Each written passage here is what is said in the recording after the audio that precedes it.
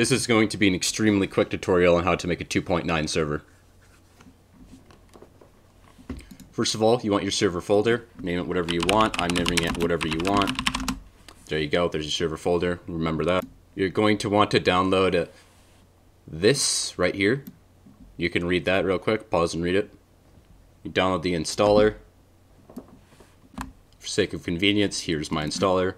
What you want to do is double left click it, install server, come to your wherever you put your server folder, put it in there, install server, hit OK. It's finished installing, so we just hit OK. Look in here, it's all there now. Very cool. Now we're going to want JDK 8, Java Development Kit 8. I'm going to be using version 301. You can use most of the recent versions, I think. It doesn't matter, as long as it's 301 or above. I will be using Windows 64-bit installer. You will probably have to make an account to download this from this site. Just put in random information, it'll be fine. After it finishes downloading, you can just left click it twice and install it. Mine's already installed, so I'm not going to show it. It's fairly simple though. Okay, now we're going to want to make something called a run.bat file. So we make new, do text, we change it all to run.bat, hit enter, hit yes, and then we're going to want to edit the text.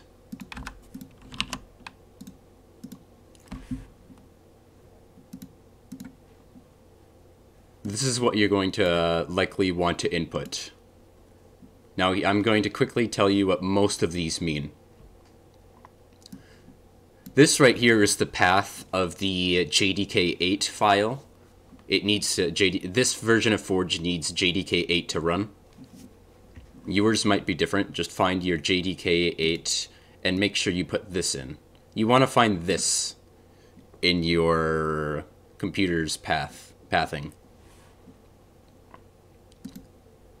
These are for RAM. You can change it as you wish. This is maximum RAM allocated. This is a minimum allocated RAM.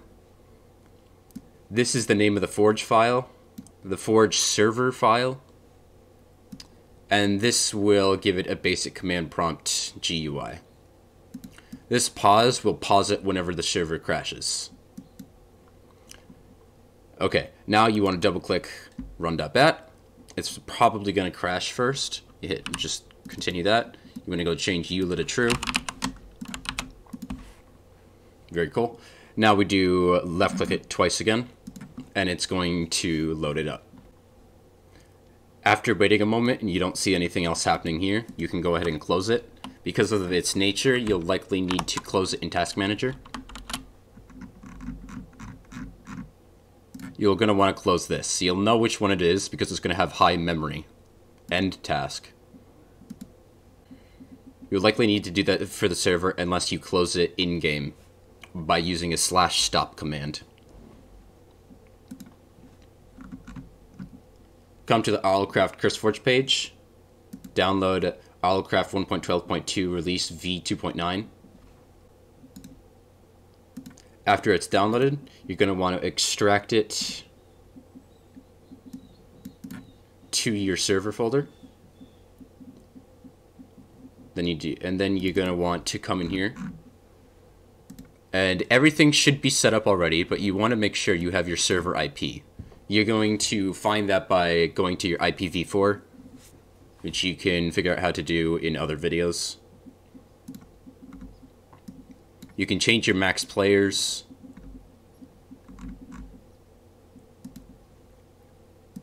And I would recommend leaving everything else alone for the time being, unless you specifically want to change something and you know what you're doing. Delete your world file. I have deleted mine. You want to double click run.bat and let it regenerate uh, all your files here.